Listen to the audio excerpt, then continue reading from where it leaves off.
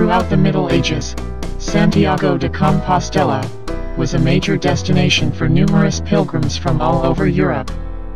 To reach Spain, the pilgrims had to pass through France. Four symbolic routes depart from Paris, Vézelay, Le Puy, and Arles, and cross the Pyrenees, joining the numerous itineraries taken by the travelers. Pilgrimage churches, simple sanctuaries, hospitals, bridges, roadside crosses, bear witness to the spiritual and physical aspects of the pilgrimages. In addition to spiritual exercise and manifestation of faith, the pilgrimage has also influenced the secular world, in playing a decisive role in the birth and circulation of ideas and art.